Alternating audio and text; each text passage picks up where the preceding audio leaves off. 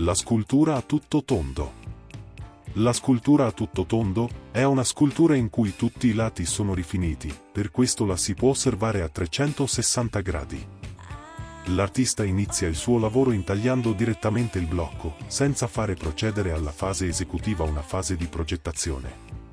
Considerando il fatto che ogni modifica apportata ad un materiale duro risulta definitiva, in quanto a questo non è possibile aggiungere, ma solo togliere materia fin dai tempi più antichi, per l'elaborazione iniziale dell'idea plastica, come punto di riferimento durante la lavorazione, gli scultori hanno fatto ricorso all'uso di modelli di piccole dimensioni in creta o in cera. Le misure del modello venivano infatti riportate sul blocco, o con il compasso da scultore o con il filo a piombo, partendo dai punti più sporgenti.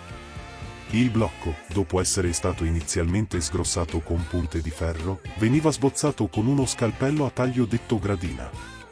Al lavoro della gradina faceva seguito quello degli unghietti, che servivano per definire i sottosquadri, cioè le parti rientranti in profondità per rifinire e modellare definitivamente nei dettagli l'opera scultorea, si ricorreva quindi all'uso di un trapano particolarmente fine, il violino, che serviva per precisare ulteriormente i sottosquadri e gli isolamenti, cioè, le parti in forte distacco dal corpo, nonché all'utilizzo di lime e abrasivi naturali, che permettevano di levigare la superficie.